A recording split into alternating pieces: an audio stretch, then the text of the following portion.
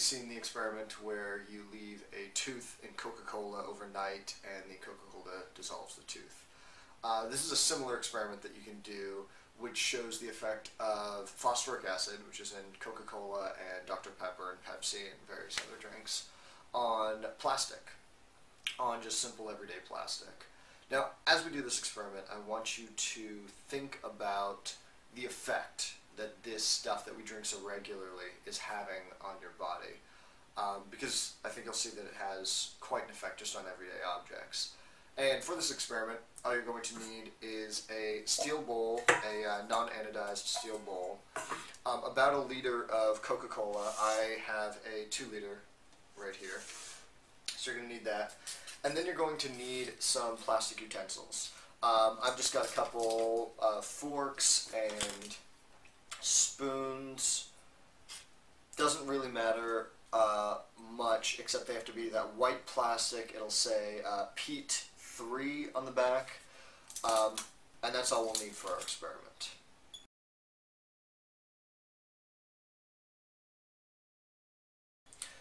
Now for the next step of our experiment, we're going to take the plastic utensils, place them in the bowl, um, just kind of scatter them around.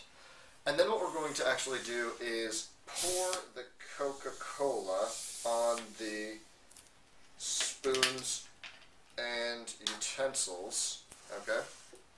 And watch out because sometimes uh, pop fizzes over when you open it. So I'm going to pour it into this bowl here. And basically you just want to fill, you just want to cover up the plastic. Um, it'll float a little bit, so you're probably going to need a little bit. Okay, that's probably enough.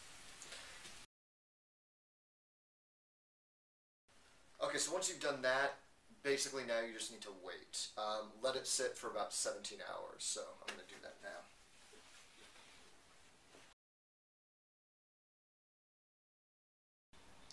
Alright, so it's 17 hours later, um, basically left it out overnight.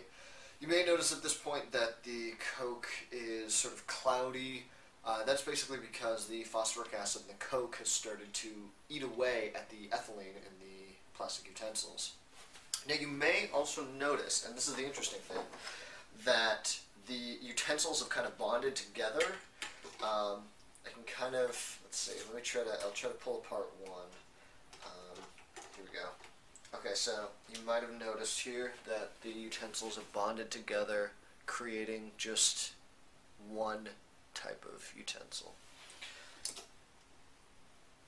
So that's it. That's a simple experiment that you can do uh, on your own with just some Coke and a couple uh, forks and spoons. Thank you.